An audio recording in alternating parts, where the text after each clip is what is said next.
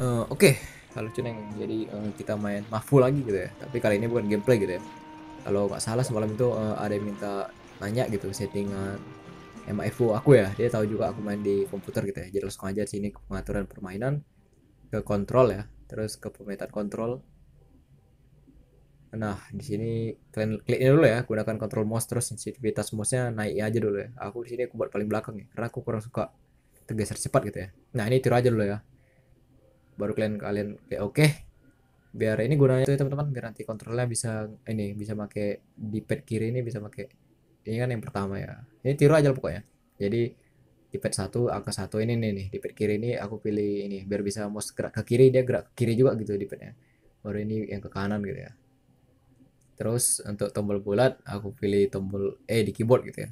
Untuk X aku Q untuk peta klik mouse kanan gitu ya. Untuk segitiga mouse kiri untuk start tombol F select C L untuk save R spasi. Kalau kalian kurang mencerna bisa di pause ya. Jeda B bisa di pause lah. Untuk yang lain nggak pakai ya.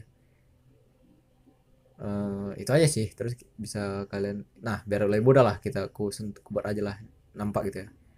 Nah ini aku buat WASD ya untuk geraknya. Ini sambil spasi atau R. Biar nampak gitu perbedaannya. Ini kiri kanan mouse ya. Nah, terus untuk masuk peta ya. Peta ini aku klik kanan. Mouse. Terus sabar. Mana ini? Ini mouse geser kanan kiri. Ini angka 12 ini L shift ya. Aku klik.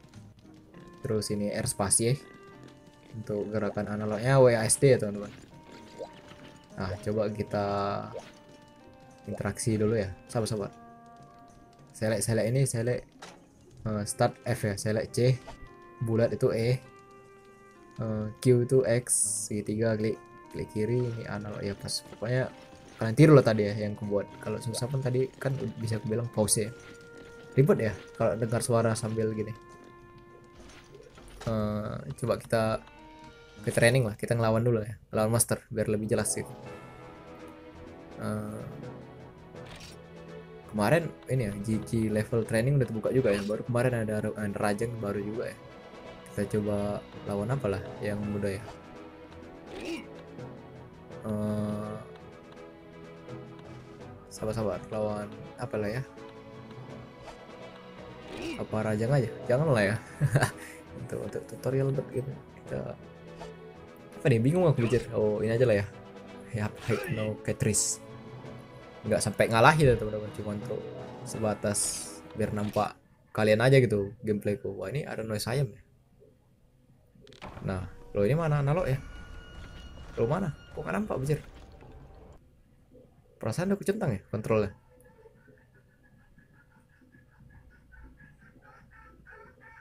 Nah gini kan enak ya. Ada ada nos ya nos ayam bajar uh, oh ini training ya lupa gue training nggak bakal ngasih inventory ya supply.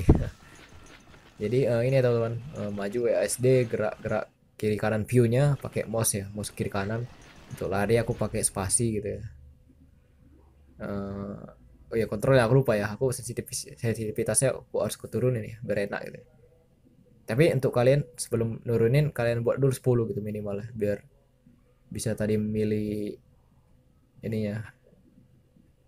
Milih view di pad ke kanan sama kirinya bisa digeser pakai mouse ke kiri kanan gitu. Sampai jelasin ya ya aku harap ngerti lah nanti ya pas aku ngomong gini kalau nggak ngerti pun bisa tanya di komentar lah nanti aku bahas bah balas juga lah balas dengan sama gitu.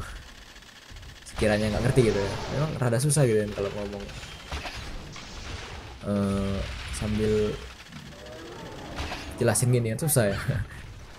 Wah kita looting dulu looting dari Popo Tongwei oh ini bukan Popo ya? Ini apa ini? Sejenis Popo ya? Rombet ini mantap juga ya jadi gitulah teman-teman. L shift gitu ya. R spasi uh, di pad kiri kanan itu mouse kiri kanan di pad atas bawah angka satu sama dua analog WASD yang lainnya ngerti lah kalian. Gitu aja lah ya